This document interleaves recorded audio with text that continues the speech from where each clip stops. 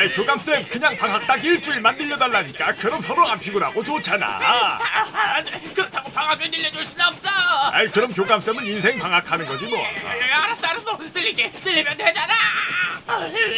됐어 이제 가서 방학을 한 주 늘리라고 해 오케이 야 방학을 한 주 늘려라 오케이 방학을 한 주 늘려라 오케이 예 방학을 한 주 늘려라 당신이 교장 선생님이잖아요. 빨리 가서 늘려요.